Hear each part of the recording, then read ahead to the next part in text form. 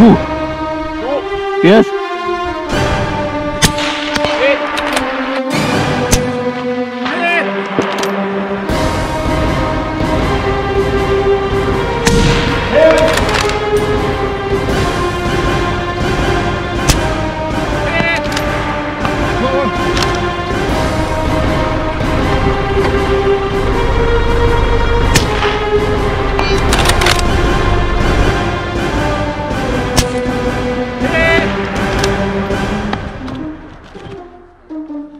Moin zusammen, herzlich willkommen zu einem neuen kleinen Video. Heute mal wieder auf Tour. Es geht nach Norwegen zum Wettkampf und ich nehme euch einfach mal mit und wünsche euch viel Spaß beim Zugucken. Was ist das für eine Tour? Es ist Wettkampf und zwar aus der Viking-Serie. Das ist ja praktisches Long Range, also ja, dynamisches Schießen auf weite Entfernungen. Und dieser Wettkampf geht bis ein Kilometer. Dynamisch, das ist schon ja, eine ganze Menge. Und ich bin gespannt, hier sind ein paar Sachen dabei, äh, die ich in einem extra Video nochmal zeige, was also beim Wettkampf alles genau war. Und ich nehme euch einfach mit auf diese Tour. Und die Tour geht ja los in Deutschland. Und in Deutschland habe ich ja auch schon einen langen, langen Anfahrtsweg bis zur dänischen Grenze. An der dänischen Grenze ist natürlich immer ein bisschen Stau, ganz klar. Und äh, das, was man da braucht, ist ein Ausweis, den muss man griffbereit haben. Man sollte auf jeden Fall die Einladung griffbereit haben. Man sollte auch äh, die Fährtickets griffbereit haben, weil danach wird gefragt. Ja, wenn sie euch anhalten und sagen, hier Ausweis, klack und ihr könnt alles sofort vorzeigen, werdet ihr vielleicht durchgewunken. Manchmal fragen die, wo wollen sie denn hin? Dann sagt man halt zur Fähre und dann muss man die Fährtickets äh, vorzeigen. Wenn man die nicht dabei hat, hm, dann muss man rausfahren und die suchen. Und so wie ich diesmal hatte die nicht ausgedruckt, sondern nur auf dem Handy, dann dauert es halt alles länger. Aber das geht dann auch weiter. So, Glück gehabt. Ich bin zwar rausgezogen worden, aber ich musste nur die Fährtickets äh, zeigen, die von Hirtshals nach Narvik gingen. Und von daher habe ich die gezeigt, und zwar auf einem Handy. Das Ding ist ja bloß noch elektronisch heutzutage. Und dann konnte ich einfach weiter, keine weiteren Kontrollen.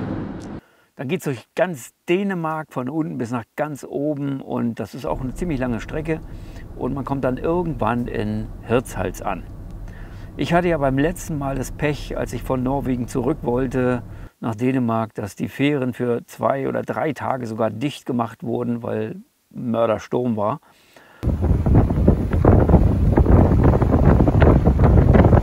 Und ich dann über Schweden zurückfahren musste. Das ist natürlich nicht schön. Oder ein paar Tage da bleiben. Und diesmal kam ich an, bin an den Strand gegangen in Hirtshals und habe gedacht, oh je, oh je, oh je, das hat ganz schön gepfeffert. Und äh, es war schöner Wind. Dann habe ich reingeguckt, äh, Windstärke 6, in Böen bis 9 waren angesagt. Da dachte ich schon, es geht nichts mehr. Und dann bin ich aber noch mal rein in die, in die ja, Bude da von Collarline so, ich habe sicherheitshalber mal gefragt, ob die Fähre überhaupt fährt. Die letzte wurde ja auch gecancelt wegen Sturm und heute Nacht sollen Windstärke 6 bis 9 sein. Toll, das wird ja eine Überfahrt. Aber die Fähre soll fahren. Ich bin ja gespannt. Ja, ich gehe jetzt erstmal einchecken und ja, ein bisschen warten. Hab noch zwei, drei Stunden Zeit hier dann anstellen, ist ganz klar, und warten. Und vielleicht hat man Glück, kommt als Erster rein. Oder wie ich diesmal als Letzter, obwohl ich fast als Erster da war. Das hat aber nichts damit zu tun, wann man ankommt. Das ist völlig wurscht.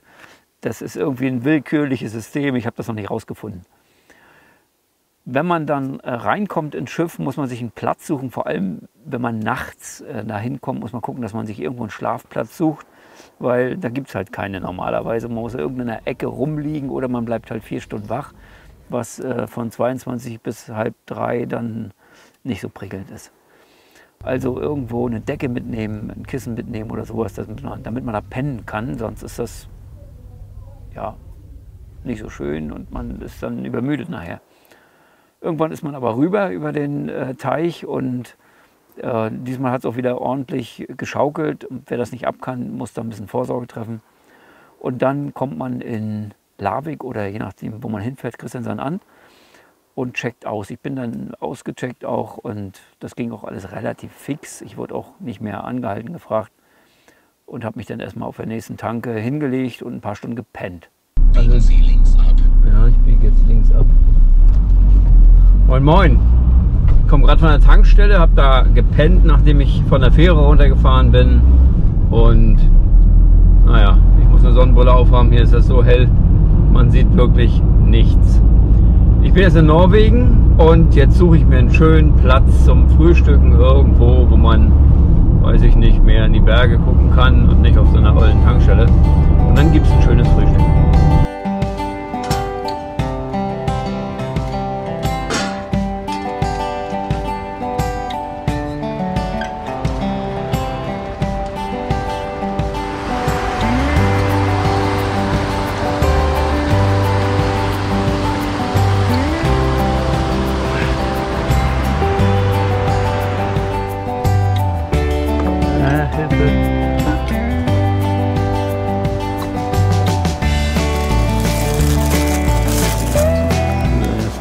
Brötchen heute zum Frühstück. Kaffee.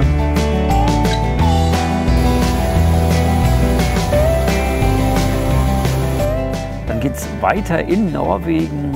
Da kann man äh, ein paar schöne Päuschen machen, vielleicht noch die eine oder andere Stadt angucken, wenn man Zeit hat. Das habe ich diesmal alles gemacht. Es gab wieder viel zu sehen. Kongsberg selbst ist auch ganz lustig. Und unterwegs kann man schön irgendwo mal anhalten, sich die schöne Gegend angucken. So, ich habe erstmal einen Umweg gemacht, in die Stadt gefahren, nach Kongsberg und habe mir so ein Kabel gekauft. Ich natürlich vergessen, davon habe ich 20 Stück zu Hause. Naja, jetzt geht es weiter auf den Schießplatz. Da vorne stand schon ein Schild, das hieß äh, Skütebahne, heißt ja hier immer so. Also ich schreibe das mal hier irgendwo drauf. Das, ob das richtig ausgesprochen ist, weiß ich natürlich nicht. Ich habe das noch nie in Norweger äh, hören sagen komischerweise.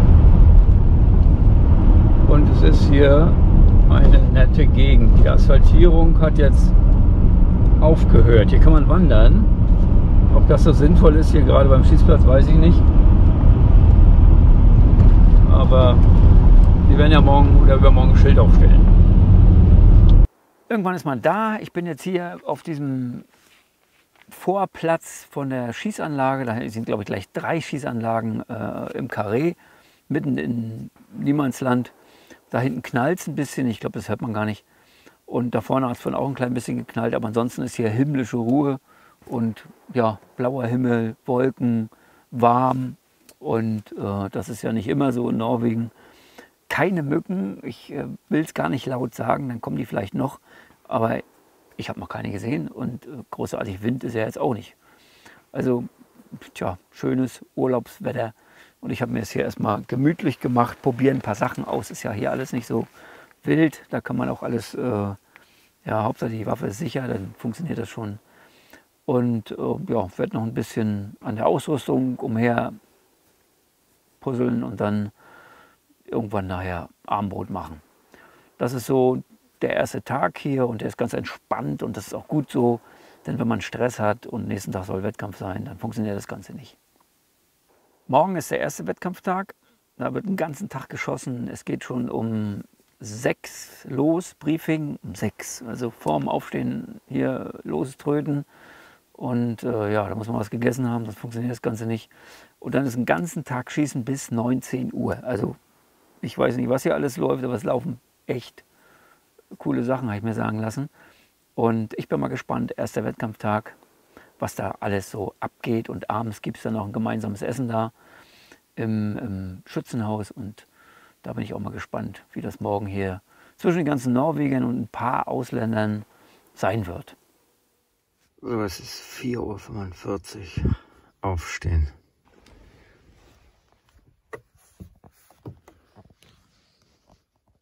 So ist es morgens um fünf, halb sechs und alle stehen auf, wie man hier vielleicht sehen kann und sind müde. Geht bald los.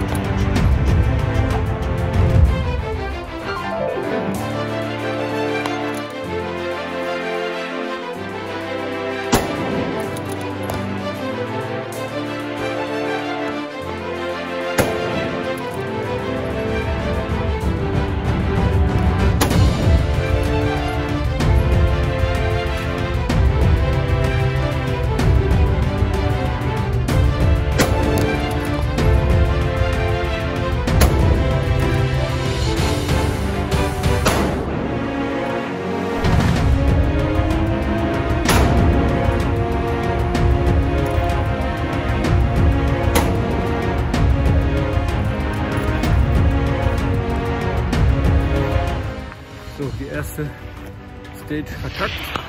Moving Target. Verkackt.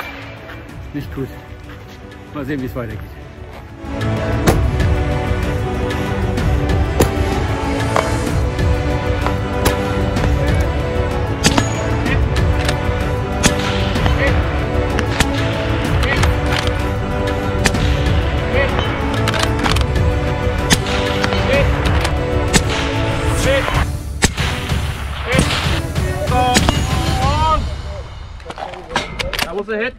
Yes? So, die ersten vier Stages sind hinter uns. Ich habe total geloost heute. So ist das, wenn man nicht trainiert oder nicht die Möglichkeiten hat zu trainieren. Dann äh, kann man hier aber sehr viel lernen, lernen. Und ich bin mal gespannt, was die nächsten vier Stages bringen. Jetzt ist es halb elf, wir sind extrem schnell. Und äh, das Wetter ist super geblieben. Es hat nicht geregnet. Es ist jetzt warm. Aber ist natürlich super Wetter. Kaum Wind, aber extrem anspruchsvolle Stages. Also war ich überhaupt nicht darauf vorbereitet und muss noch viel, viel üben. Bin froh, wenn ich überhaupt mal was treffe, muss ich ehrlich zugeben. Und ja, bin mal gespannt, was noch so kommt. Geht es hier erstmal wieder durch den Wald. Wir fahren zu irgendeinem anderen Ort, irgendeiner Combat Village oder so, keine Ahnung. Ist ja alles Militärgelände, deswegen äh, kann ich auch nicht alles zeigen.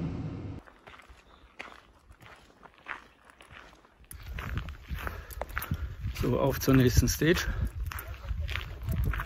Das scheint hier ein bisschen weiter zu gehen. Da hinten sind die Ziele zu sehen.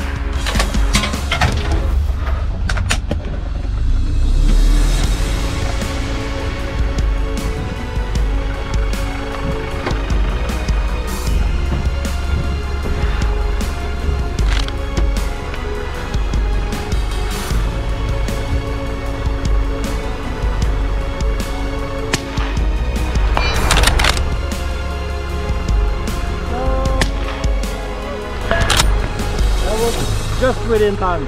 Yes. Ready? Fire!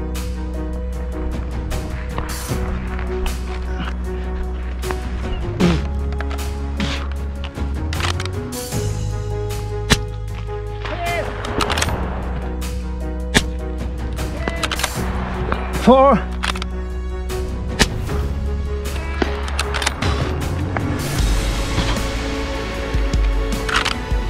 Five.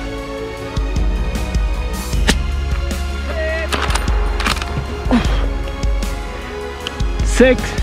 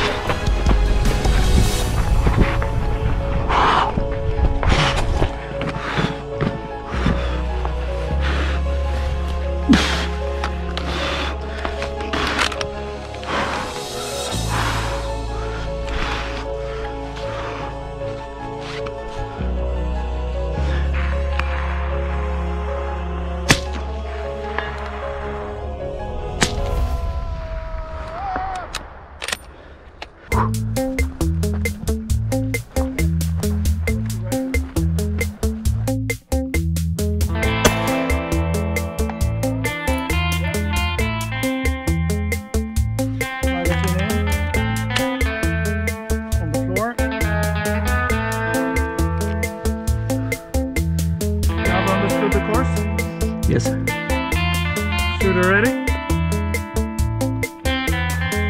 Yes. Ready? Fire! Ja, das ist schwer.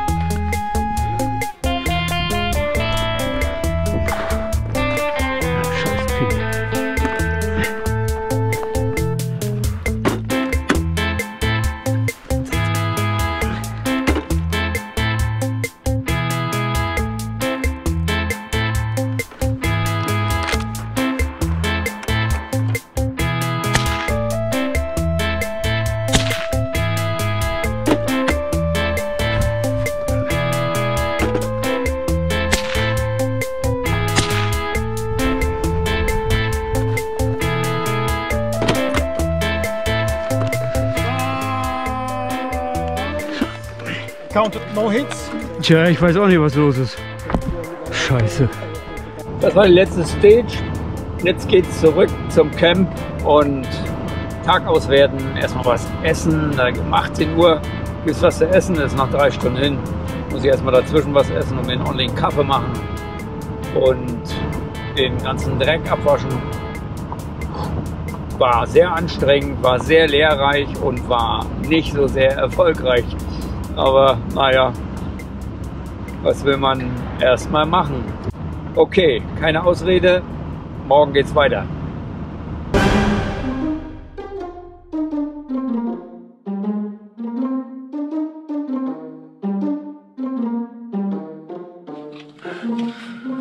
So, langsam ein bisschen was gegessen und natürlich auch was getrunken.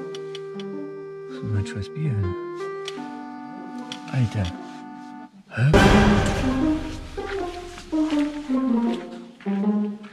Bier ist weg. Verdammt. So. Oh Mann, Mann, Mann. Wie kann man in Norwegen Bier wegstellen? Geht gar nicht. Ich sehe nicht, wie teuer das ist. Das habe ich hier gekauft. Das kostet Millionen. Okay, ist alkoholfrei, ne? Weil, ihr wisst schon.